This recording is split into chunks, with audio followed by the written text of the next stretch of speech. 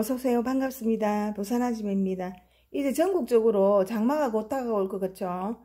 장마철에는 김치 여러가지 종류만 있어도 든든하니까 오늘은 절임 알타리 무 3kg 가지고 맛있게 담아 볼 테니까 끝까지 지켜봐 주세요. 초간단입니다. 5분이면 해결됩니다.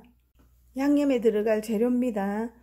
고운 고춧가루, 고춧가루, 멸치 액젓, 다시마 오린물, 그리고 홍고추하고 양파하고 마늘, 배 반쪽하고 풀물 대신에 밥 한 공기 필요하고요. 유수가 조금 하고 새우젓하고 청, 생강청하고 필요합니다.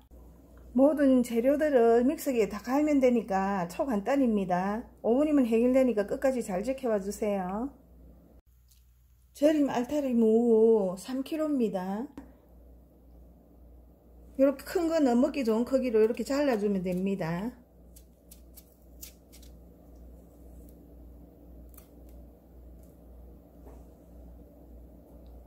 그냥 이렇게 통으로 해서 아작아작 씹어 드셔도 되거든요.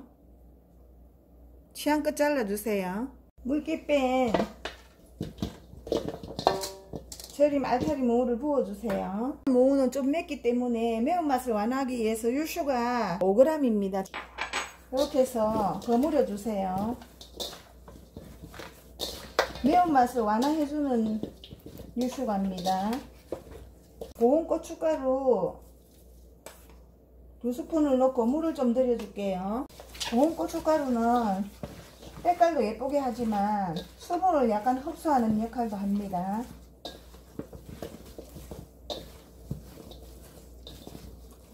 이렇게 해놓고 양념 준비할게요. 믹서기에 어른 손으로 한 줌 마늘 넣어줍니다. 홍고추 4개 썰어주세요. 믹서기 넣어줍니다. 양파 중간 크기 한 개 썰어주세요. 넣어줍니다.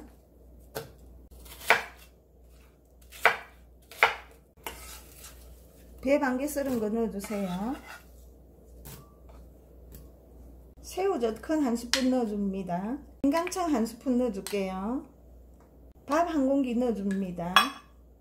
풀물 대신에 밥을 넣어줍니다. 다시마 우린 물 200ml 넣어주세요. 이렇게 해서 갈아주면 됩니다. 이렇게 갈아주세요.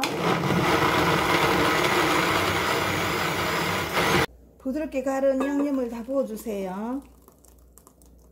멸치 액젓 150ml 넣어줍니다. 여기에 고춧가루 큰 다섯 스푼 먼저 넣어주세요.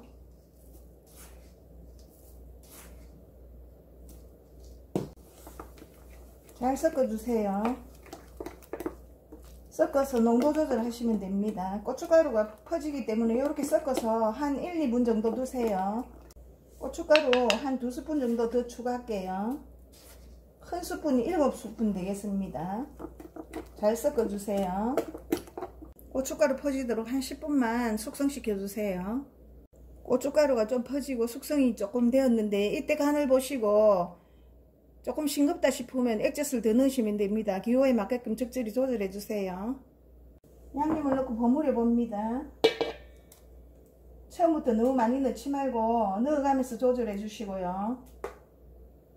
남은 양념은 깍두기 하셔도 됩니다. 잘 버무려 주세요. 음, 양념 향이 예술입니다. 예술.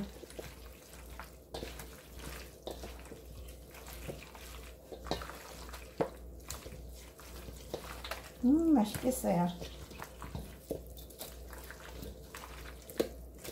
잘 버무려 줍니다. 제가 한번 먹어볼게 소리 한번 들어보세요. 음 good입니다 good. 자, 부산아지매표 알타리 무김치 완성입니다. 장마철에 이렇게 만들어 드시고 건강 잘 챙기세요. 감사합니다. 다음 영상 찾아뵐게요.